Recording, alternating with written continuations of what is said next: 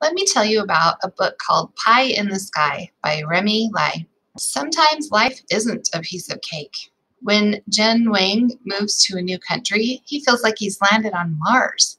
School is torture. Making friends is impossible since he doesn't speak English, and he's often stuck looking after his extremely annoying little brother, Yang Ko Hao.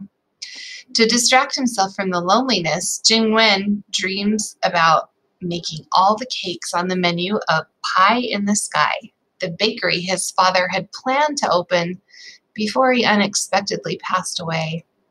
The only problem is his mother has laid down one major rule. The brothers are not to use the oven while she's at work. As Jin Wang and Yanghao bake elaborate cakes, they'll have to serve elaborate excuses to Mama in order to keep the cake making a secret. This book will make you laugh and it may even make you cry. And the illustrations on the pages are so much fun and bring to life the story of this young immigrant who feels lost, but through brotherhood, friendship, and lots of baking hijinks, finds his way home. Pie in the Sky by Remy Lai.